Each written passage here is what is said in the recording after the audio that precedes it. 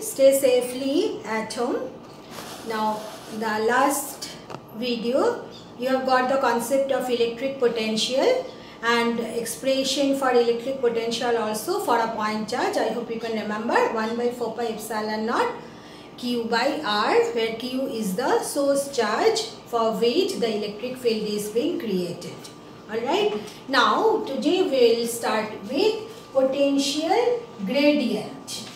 Now, what is gradient? What is the meaning of the term gradient that you have to understand?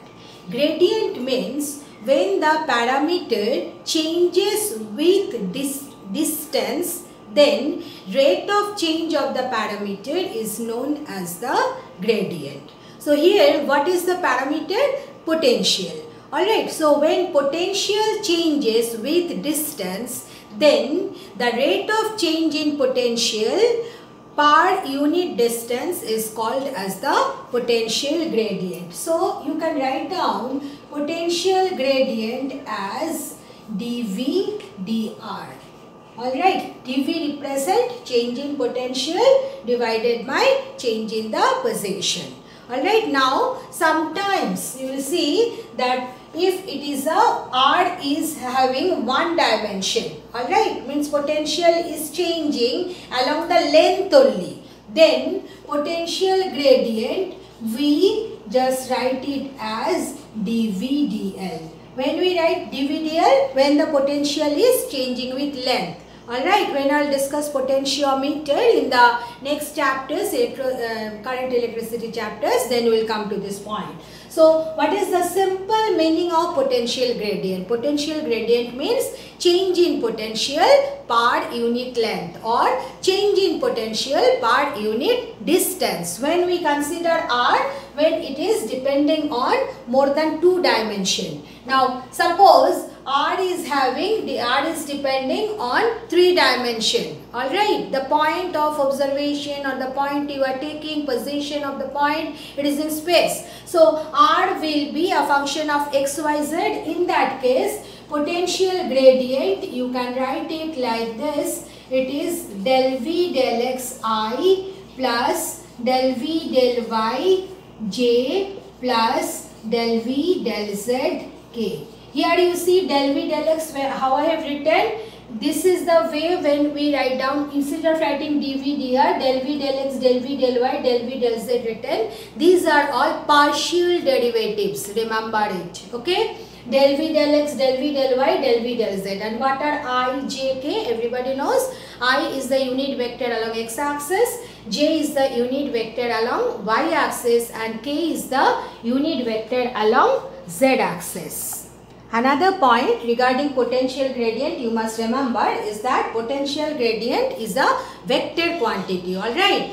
Just consider temperature potential is a scalar quantity but when it is potential gradient then it is a vector quantity uh, exactly like that temperature. You know temperature is a scalar quantity. But when we uh, talk about the temperature gradient temperature gradient means what? Change of temperature per unit length or change of temperature per unit distance is known as the temperature gradient. Whenever gradient is there that will be a vector quantity. Alright so these are the concept regarding the potential gradient now we will find out a relation between E and V. Now before starting the topic, I just want to mention important derivation for your board exam. This derivation come in board exam, so you must learn the derivation. Alright. Now let us consider, we have kept here one charge plus Q and due to that we are considering that potential at the point A, let it be V plus dV and potential at the point B, let it be V. Just you consider this potential at the point A, I have considered V plus dV and potential at the point B is equal to V. What does it mean? That potential difference between the point A and B, it will be dV. Alright. Now, why I have taken the potential at a V plus dV? Because the point A is nearer to the, let it be point O, point A is nearer to the source charge. And you know for the expression of the potential is what? 1 by 4 pi epsilon naught uh, epsilon naught q by r isn't it? So you see as the point is nearer so potential will be higher. Now if you just apply the concept, I hope you can remember VA minus VB, what it will be WBA divided by Q naught. Alright, where Q naught is the charge you are taking from B to A. Is that clear what I said?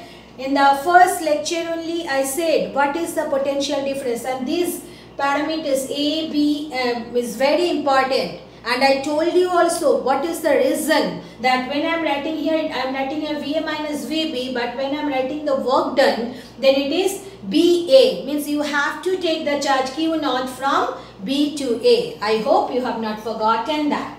So, if you consider that plus Q charge is kept here, then what is the direction of the electric field? As it is the positive charge away from the charge. Alright. Now here you consider that how you can write WBA. WBA you can write it as dW. Alright, why dW? Because the potential difference between the point A and B, it is very small. So, you need to do a very small amount of work. That's why WBA, you can write it as dW. So, what is the work done? We know work done is dot product of force into displacement. So, here you look at it. If you take Q0 charge from B to A, then in which direction F is acting? F is acting in this direction because E is in this direction, isn't it? Plus Q0, it is also a positive charge. This is also positive. So, it is repelled. So, in which direction force is acting? Force is acting away from the charge.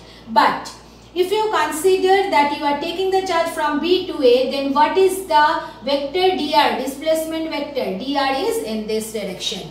Alright, here I want to mention that when the derivation will come in the board exam, then diagram is very important and in the diagram, the way I, I am mentioning each and every term is very important.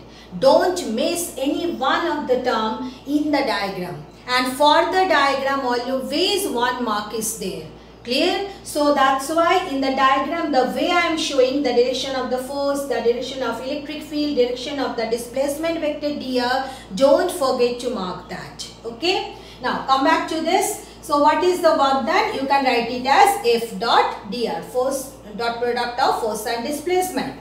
Now, look at the diagram. F is in this direction, dr is in this direction. What is the angle between them? 180 degree. So, cos 180 degree is minus 1. So, how much will be F dot dr? You can write it as F dr. Is that clear? Then, again, what will be F? F will be Q naught into E. Alright, I hope you can remember that F is equal to how much? 1 by 4 pi epsilon naught Q Q naught by R square where E is equal to 1 by 4 pi epsilon naught Q by R square. So you can write F is equal to Q naught into E. This one in the last lecture we have done already uh, not last lecture in the electrostatic chapter second uh, chapter we have done it force electrostatic force is given by charge multiplied by the charge brought charge to be displaced or charge to be brought multiplied by the electric field intensity. So here you see what are you getting dW is minus Q naught EDR. So if I substitute it here in this expression, so what I can write here is I am substituting this one also and I am substituting WBA also. Then what are you getting? I'm, let us name it as equation 1. So you can write from equation 1. Okay, VA is V plus dV and VB is V and you are getting here minus Q naught E dr. Is that clear? Q naught E dr divided by Q naught because it is WBA by Q naught. So VV cancel, Q naught Q naught cancel. So you see you can write E is equal to minus dV dr. Is that clear? So this is the, I am writing once again here. This one I am writing once again here. You must properly write down in your notebook that E is minus dV dr. Very important relation in electrostatics that electric field is negative of potential gradient. dV dr is what? potential gradient. So, what is the relation between electric field and the uh, electric potential? The relation between electric field and electric potential is that electric field is equal to negative of potential gradient. So, you see as you can write E is equal to minus dV dr. So, you can write SI unit of electric field as V is what? Volt. Is that clear? And dr is meter. So, volt per meter. Alright, in the first, second chapter when I taught you electric field intensity then I wrote that what is the unit of electric field intensity? It is force per unit charge. So, Newton per coulomb. Then I wrote this one also and I told you that explanation you will get in the next chapter. So, I hope it is clear how it is coming. Clear? How it is coming? Newton per coulomb E is equal to F by Q. Okay, so it is Newton per coulomb. Again, one e, uh, you can write dV here, so you can write it as volt per meter. Now, if you consider already this one in the last Gauss's theorem chapter we have done that you are having two equally and oppositely charged plates here, then metal plates, then what will happen in between the two plates there will be a uniform electric field. Alright. So when the field is uniform, when electric field is uniform. Alright, uniform means constant. In that case, we can write V is equal to E into D where D is the distance between the two plates. Alright. So in that case electric potential one can write this way that is electric field multiplied by the distance between the two plates. It is coming from this one only. You see V is equal to how much? E into D here. So here V you can write E into D. Clear? So uh, you must understand it that when for a uniform electric field one can write it as V is equal to E into D. So this is the relation between E and V when the electric field is constant or uniform. Okay. Then next concept is electric potential due to an electric dipole. Uh, when you want to find out potential due to an electric dipole, then there will be two cases. So let us consider first the dipole as plus q and minus q kept at the point A and B. Now you want to find out the potential at one point on the axial line. So what is the axial line? You know the line joining the dipole. So suppose you have taken the point P on the axial line. Now, as you know, for dipole, all the distances are measured from the center of the dipole, that is the midpoint of the line joining the two charges. So, you mark O clearly on the diagram and then you know what the length of the dipole we considered, we considered length of the dipole as 2L. So, AO equal to OB equal to L. Now, the distance between O and P, let it be R. Is that clear? Now, this is the diagram and this derivation also important for your board exam. Okay, so this derivation also you must learn and prepare. So, here you see when you are you want to find out the potential at the point P then what you have to do? You have to use the superposition principle. Superposition principle means what? You will find out the potential at the point P due to charge at A VPA I have written. What is the meaning? Potential at the point P due to charge at A then plus potential at the point P due to charge at B Is that clear? Now we have done the same derivation for electric field but electric field one was a little bit complicated because electric field is a vector quantity so we did vector addition but in this case of potential it is quite easy Alright, why? Because potential is a scalar quantity. So, we are doing the scalar addition. So simply substitute the expression for VPA and VPB. Unlike that electric field, you don't have to show on the diagram what is the direction. Clear? So that's why what is VPA here? What you can write? 1 by 4 pi epsilon naught. Then you see here at the point A, who is there? Plus Q. So it is plus Q divided by the distance between them. So what is the distance? PA. Then plus what will be VPB? 1 by 4 pi epsilon naught. What is the charge here? Minus Q. So minus Q divided by PB. So this point is the most important point and children they mess up and do the mistake at this point. So be careful. For electric field you should not use the sign of the charges because electric field direction is there. Depending on the direction automatically it will be positive or negative. You don't have to give the uh, sign of the charge. But when it is the potential don't forget to give the sign of the charge. Means you have to give for VPB as B, at the point B you have kept the charge minus Q. So you need to write minus Q. You cannot write only Q. Take care of this then you see you can take q by 4 pi epsilon naught common. Now let us substitute PA.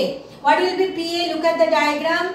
OP is R and OA is L. So PA will be R plus L. So you can write it as R plus L. Then here you see I have taken q by 4 pi epsilon naught common. So there is a negative sign which will be 1 by PB. Look at the diagram. What is PB? PB is PO minus OB.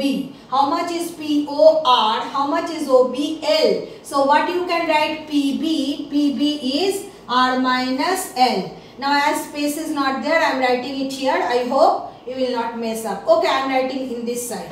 So you see here, that's why giving the arrow. You can take u by 4 pi epsilon naught common. So you see in the denominator what it will be? It will be r square minus l square and above how much it will come? r minus l minus r minus l. So r r cancel. So how much you are getting? Minus 2ql divided by 4 pi epsilon naught r square minus l square. Alright. So you see how you can write what is the potential at the point P. Potential at the point P is 1 by 4 pi epsilon naught. Now I, I hope you can remember what is 2QL. 2QL is nothing but the dipole moment. So you can write it as minus P divided by R square minus L square.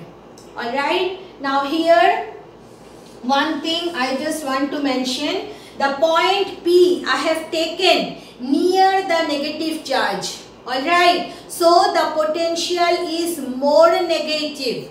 But if anybody does the same derivation taking at the point A minus Q, at the point B plus Q, then you will see potential will come plus P by r square minus l square. So be very careful that where you are taking plus q and minus q and the point of observation. If the point of observation is near the negative charge then definitely electric potential will be negative. But if you take the point this side means if you take the point near the positive charge then how much it will come plus p by r square minus l square. So please kindly don't mess it up. Try to get a proper concept. And one more thing while doing the derivation as there is no space I have done it like this. You must do it step by step. One step down the other one. Okay. Next is potential due to an electric dipole at any point on the equatorial line. So the first question arises, what is the equatorial line? Equatorial line is nothing but the perpendicular bisector of the line joining the two charges of the dipole. So if you consider that this is the midpoint, so if you draw the perpendicular bisector, please use a scale. You must use a scale. So then this line is known as the equatorial line. So if you take any point P on the equatorial line and it is asked that what is the potential at the point P then exactly in the same manner what you will do potential at the point P due to superposition principle it will be potential at the point P due to charge at A plus potential at the point P due to charge at B. Now substitute it how much is VPA 1 by 4 pi epsilon naught plus q divided by PA then plus 1 by 4 pi epsilon naught what will be VPB minus q divided by PB. Now look at the diagram P is a point on the perpendicular bisector of AB. So what is the conclusion you can draw that PA equal to PB. So you see as PA equal to PB so what are you getting potential is 0. So this one generally comes as 1 mark or 2 mark question in board exam and frequently asked question, conceptual question. That where the potential is 0 due to an electric dipole Alright, potential is 0 due to an electric dipole on any point on the equatorial line. Alright, sometimes it is counted as uh, what is the locus of the zero electric potential for an electric dipole. Alright, misstatement is given in a little bit different manner. Locus means what here the perpendicular bisector or the equatorial line of an electric dipole is the locus of zero potential. It means that electric potential is zero on every point at every point on the equatorial line. So these are the this one there is no derivation only one more question comes but the previous one the derivation you must learn. Next is we will find out the electric potential due to a dipole at any point. At any point means neither it on the axial line nor it on the equatorial line. So suppose I have taken the point P here. Alright. So uh, see P is not on the equatorial line, P is not on the axial line. So how you can do it? Again you will join PA and PB and then Uh, just by using the superposition principle one can write VP is equal to VPA plus VPB alright? And you know that VPA will be 1 by 4 pi epsilon naught plus Q by PA then what is VPB 1 by 4 pi epsilon naught minus Q by PB Alright, now in this case how you can find PA and PB that one you have to understand. So let us consider that the polar coordinate of the point P let it be given by r theta means this angle is theta and from the point O till P the distance of P from the point O let it be r and the angle made by OP with the horizontal line let it be theta. So r theta is the polar coordinate of the point P. Clear? I hope in uh, mathematics you have learnt it already that there are Cartesian coordinate and there are polar coordinate. And I hope you can remember that Cartesian coordinate are xy whereas polar coordinate we write it as r theta Alright. And what is the relation? I hope that also you can remember. X is equal to R cos theta and Y is equal to R sin theta. So I am, I am just assuming that you know it. Alright. And if you do not know it then also does not matter. Here I have specified what is R. R is nothing but OP.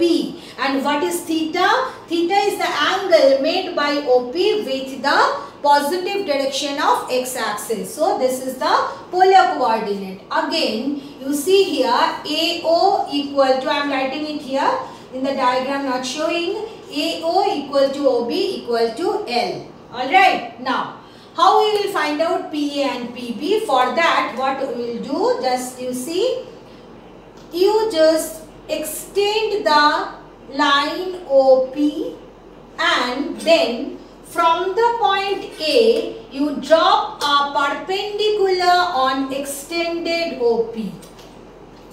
I hope you have understood what I said.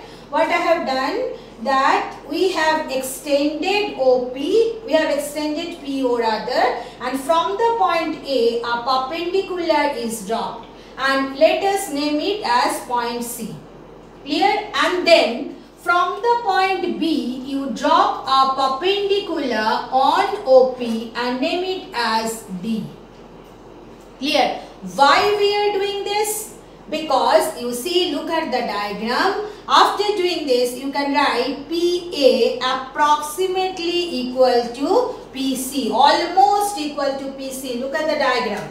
PA and PC, they are almost equal. Alright? Now, PC, you can write it as OP plus OC. Now, we are not doing physics, we are doing mathematics. Alright? PC. How you can write? OP plus OC. Alright? Now, come to this point. OP is how much? R. OP is how much? R. Because polar coordinate of P is R theta. So, OP is R. Now, what is OC? How you can find out? You see here. OC if you consider this angle theta, this angle is also theta. Alright? This angle is also theta. So, you see OC is the base and OA is the hypotenuse and OA is equal to L. So what you can write OC is equal to OA cos theta. Is that clear? So you can write it as OA is L. So R plus L cos theta. Is that clear? So you see we can express PA nicely in a tricky manner in this way in terms of the known quantities. Then come for PB. I hope you can say what is PB. Look at the diagram. PB is equal to what? I have drawn a perpendicular here. This is perpendicular. So PB and PD they are almost equal. So you can write it as PB equal to PD.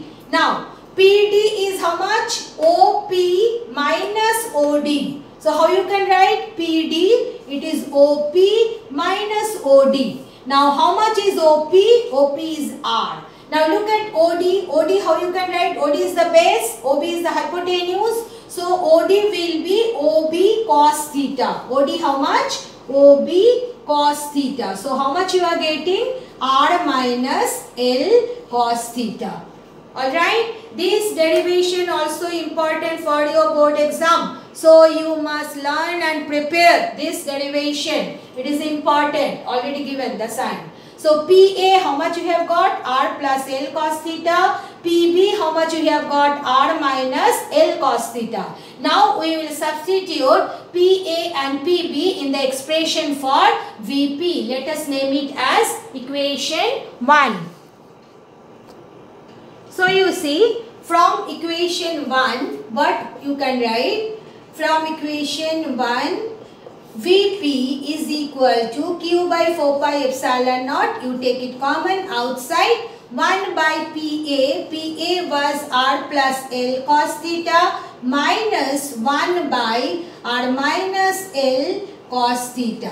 So if you take Q by 4 pi epsilon naught then in the denominator it is coming r plus L cos theta into r minus L cos theta and here it is coming r minus L cos theta then minus r plus L cos theta. So it is becoming minus r minus L cos theta. So you can cancel r. So how much you are getting? Minus 2ql cos theta divided by 4 pi epsilon naught r square minus L square cos square theta. Alright. Now one can write in place of 2ql as minus p cos theta divided by 4 pi epsilon naught r square minus L square cos square theta. So this is the potential taken at any point neither it is on the axial line nor it is on the equatorial line. Then how much it is coming? Minus p cos theta 4 pi epsilon naught r square minus l square cos square theta. Here why the negative sign is coming? Hmm? anybody? Negative sign is coming because the point p i have taken nearer to the negative charge. If anyone take the point p nearer to the positive charge Alright, then it will come as plus p cos theta. So don't be confused. Now you see, we can use this relation to get it on the axial line as well as on the equatorial line. Okay, we can get the, we can use the same expression to get the potential on the axial line as well as on the equatorial line. So if you consider now on the axial line. Just look at the diagram. When you will take on the axial line the point P, the point P it will come here. Means how much will be the value of theta? The theta will become 0 degree. So if theta is 0 degree then what is the potential coming? You see it is coming minus P cos 0 degree divided by 4 pi epsilon naught r square minus L square cos 0 degree. Cos 0 degree how much? 1. So minus P 4 pi epsilon naught r square minus L square. Now you turn your page and see what was the potential at the point on the axial and we got the same expression. Alright. So this is the generalized expression for potential at any point. Now if you consider it on the equatorial line. On the equatorial line, how much is the value of theta? Just see, theta is equal to 90 degree, isn't it? If you take the point P on the equatorial line then how much it is coming? Theta is becoming 90 degree. So when theta 90 degree cos 90 is 0. So how much will be potential? Potential will be 0. Alright. So that's all regarding the electric potential due to an electric dipole. Both the derivations are very very important for your board exam. Please do learn it.